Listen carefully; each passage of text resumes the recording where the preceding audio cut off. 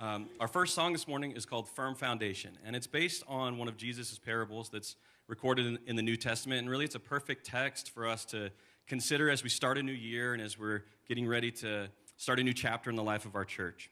In Matthew 7, it says, Everyone then who hears these words of mine and does them will be like a wise man who built his house on the rock. And the rain fell, and the floods came, and the winds blew and beat on that house, but it did not fall because it had been founded on the rock. And everyone who hears these words of mine and does not do them will be like a foolish man who built his house on the sand. And the rain fell, and the floods came, and the winds blew and beat against that house, and it fell, and great was the fall of it.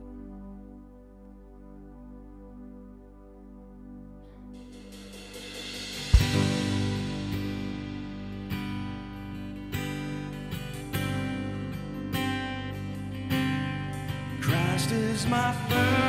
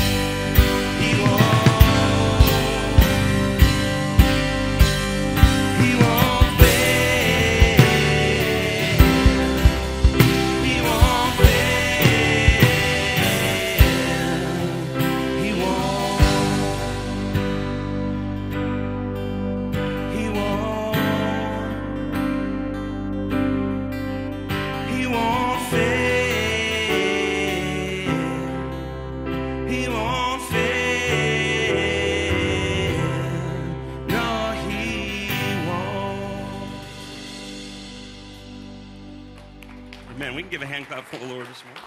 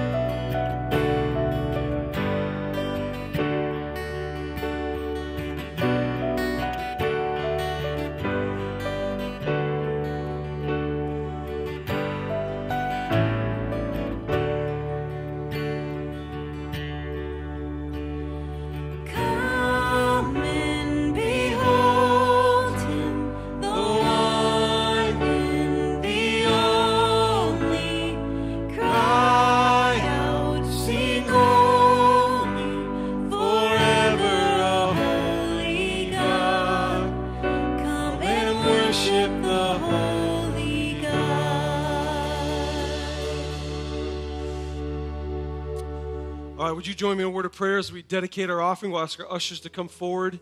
New year, new mercies. Excited about the year and what lies ahead. Thankful for a great God whose mercies are new every day. Join us in a word of prayer. Father, we thank you for a new year with new opportunities.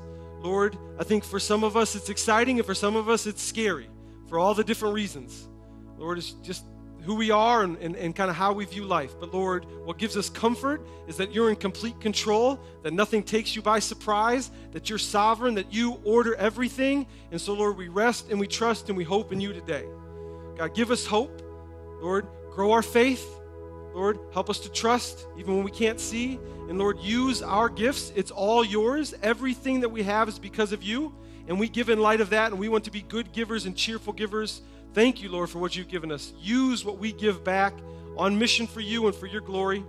It's in Jesus' name that we pray, and all God's people said, Amen.